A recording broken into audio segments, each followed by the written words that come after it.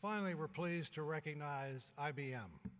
IBM has given us one of its impact grants.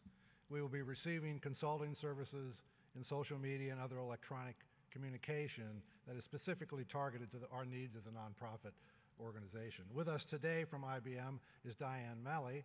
Uh, Diane is Vice President of Global Citizenship Initiatives. Diane, would you please come up and join us?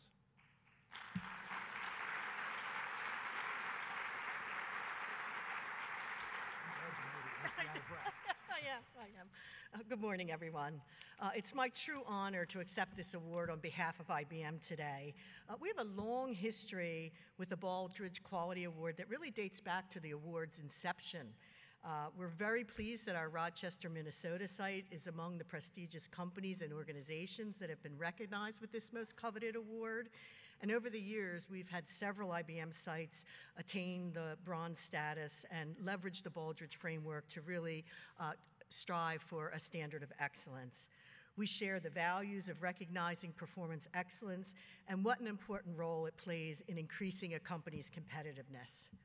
As George said, at IBM we have a program called Impact Grants. So as the Baldrige Foundation reaches out to continue to improve itself, uh, we are partnering with them to assist them through our impact grants, which are grants of expertise, software, and technology, including cloud, analytics, social, security, and mobile solutions.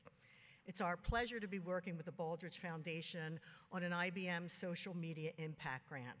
IBM is providing pro bono consulting support to assist Baldrige in creating a world-class social media and digital marketing plan. I would encourage all the companies in the room to share their expertise and talent and support the Baldrige Foundation as we are. George, Al, thank you again for this very special recognition, and we look forward to continuing to support the foundation for a long time to come. Thank you.